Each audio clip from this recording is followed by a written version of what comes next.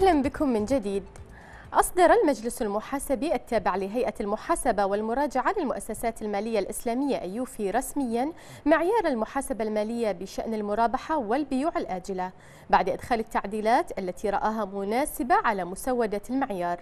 يأتي ذلك في ضوء الملاحظات والآراء الخطية الواردة إلى الأمانة العامة بشأنه والملاحظات التي أبداها الخبراء المشاركون في جلسات الاستماع التي عقدت بين شهري أبريل ويونيو الماضيين في كل من البحرين وباكستان وقد أكد رئيس مجلس أيوف المحاسبي حمد العقاب على عزم هيئة المحاسبة والمراجعة للمؤسسات المالية الإسلامية إصدار المزيد من المعايير قبل نهاية العام الجاري والتي تحتاجها الصناعة المالية الإسلامية وتنتظر صدورها.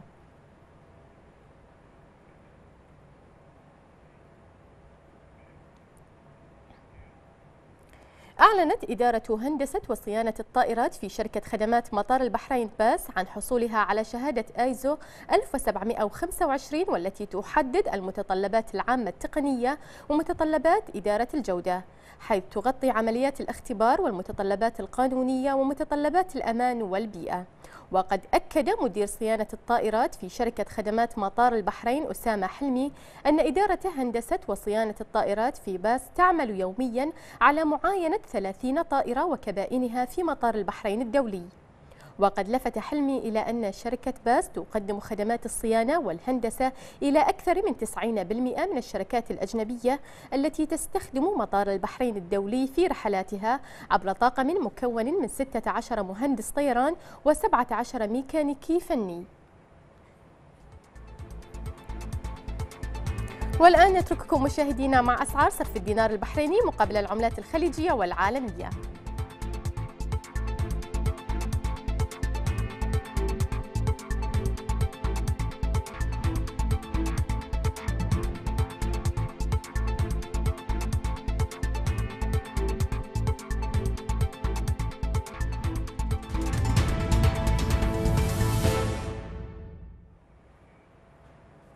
نواصل النشرة الاقتصادية مشاهدينا مع أداء البورصات الخليجية لهذا اليوم ونبدأ بالسوق المالية السعودية التي أغلقت عند مستوى 7246 نقطة بارتفاع بلغت نسبته 0.31% أما بالنسبة لبورصة الكويت فقد أغلقت عند مستوى 6664 نقطة.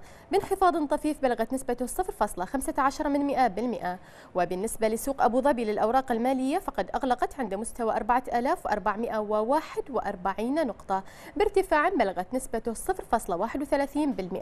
ونأتي أخيرا لأداء بورصة البحرين فقد أقفل المؤشر العام عند مستوى 1278 نقطة.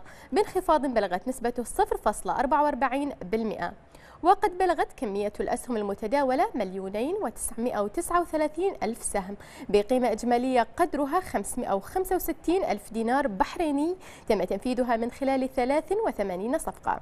وقد تركز نشاط المستثمرين في التداول على أسهم قطاع الاستثمار حيث بلغت قيمة أسهمه المتداولة ما نسبته 42% من القيمة الإجمالية للأوراق المالية المتداولة.